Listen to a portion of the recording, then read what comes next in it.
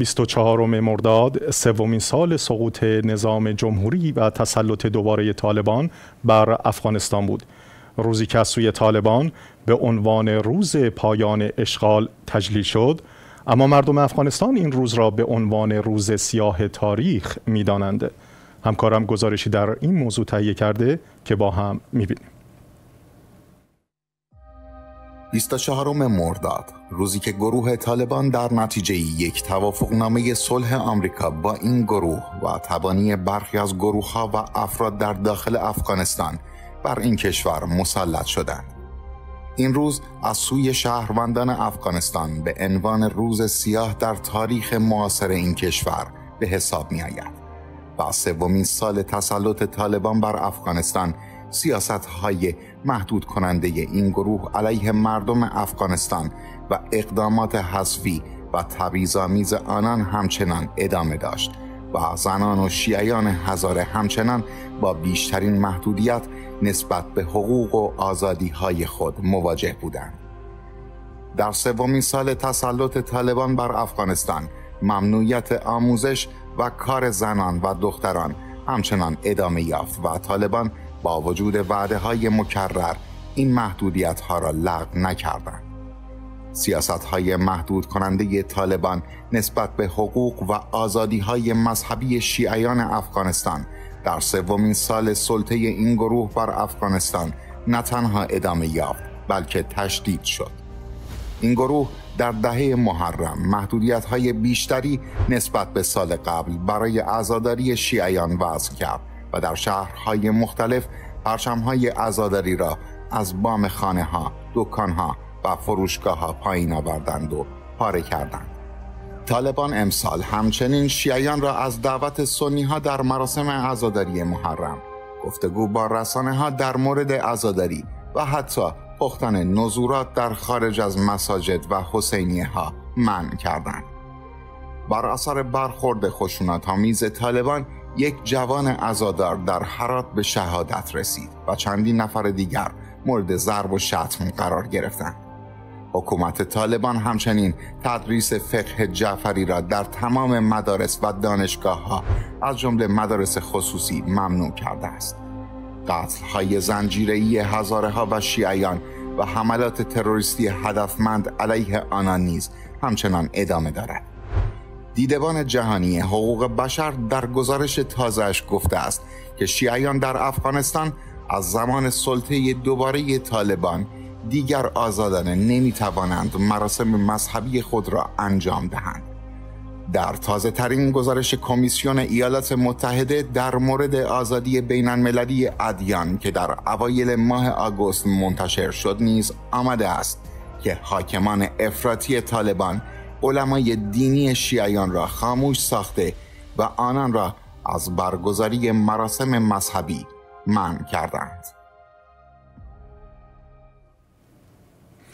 از دکتر عبدالواحد افزلی استاد دانشگاه تورین از ایتالیا پیرامون این گزارش دعوت به عمل آوردیم آقای دکتر افزلی سلام و عرض ادب دارم خدمتون آقای دکتر در سومین سالگرد تسلط دوباره طالبان این گروه تسلط خود را پایان اشغال اما مردم آن را روز سیاه تاریخی نامیدن از نظر شما چه خساراتی به شیعیان و مردم افغانستان طی این مدت وارد شده؟ بفرمایید. با سلام خدمت شما و بینندگان گرامی.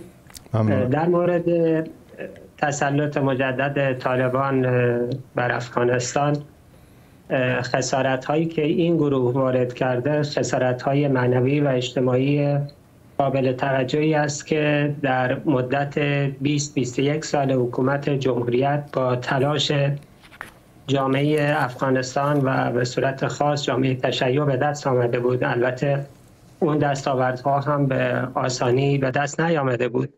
اما به حال با تلاش های جامعه افغانستان و به خصوصیان و همچنان پیگیری حقوق بشری حقوق اقلیت ها توسط نهادها و سازمان های بین المللی یک وضعیت تقریبا مناسب ایجاد شده بود که آزادانه هر اقلیتی هر گروه قومی و مذهبی می توانست برنامه مذهبی خودش را اجرا بکنه و از جمله شیعیان. اما بعد از بازگشت طالبان آنها بانک ادعا می‌کنند که امنیت را در افغانستان آوردند اما بانک امنیتی هنوز هم وجود نداره به اون شکلی که ادعا می‌کنند. و از طرف دیگه عامل ناامنی در طول 21 سال در دوره جمهوریت همین گروه بودن.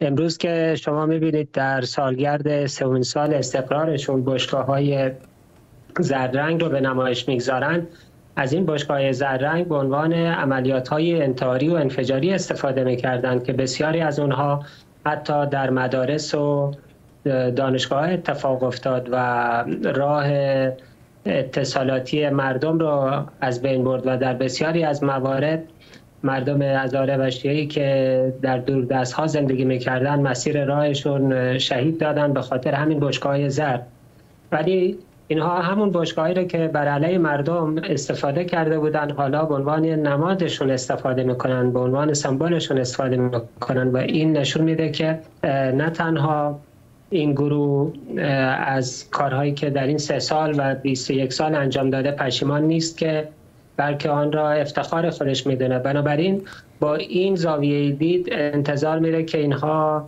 هر سال محدودیت های بیشتری را وضع بکنن و شرایط سختتری را خصوصا برای گروه های اقلیت ایجاد بکنن.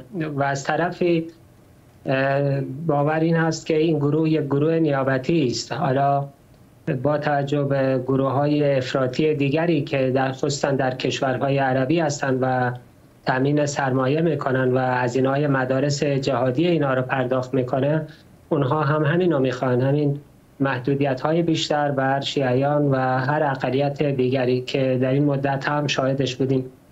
به حال ممکن است که امنیت فیزیکی محدودی ایجاد شده باشه اما امنیت اجتماعی و معنوی کاملا از بین رفته و شرایط بد داره و در آینده بدتر میشه. بله با تشکر از دکتر عبدالواحد افزلی استاد دانشگاه تورین از ایتالیا که پیرامون این گزارش دعوت ما رو پذیرفتند.